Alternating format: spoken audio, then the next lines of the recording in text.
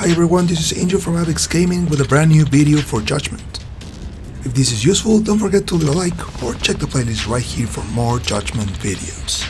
During the Kamurocho's Mad Bomber side case, you need to find the Angel of the Warrior's Maze somewhere in the district in less than 5 minutes. The place that you actually need to go is the Earth Angel in the Champion District, and here is the location.